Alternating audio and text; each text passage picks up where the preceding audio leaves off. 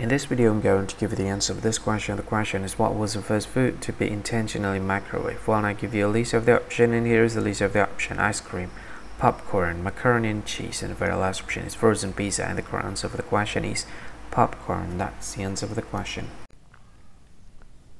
Hi, thank you so much for watching this video. If you find this video is very useful, you can help this channel to grow by subscribing this channel. Please this subscribe button and don't forget to like this video. And if you find this video is not really good or you don't really like this video or you kind of feel that it's a little bit offensive or something like that, you can click this one, dislike button. You can do that anyway.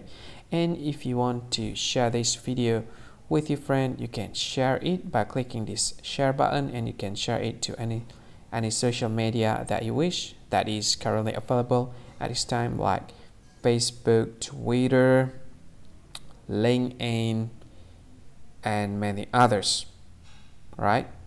And if you want to add this video to your playlist, you can click this one. You can watch this video later and you can find more options by clicking these three dots.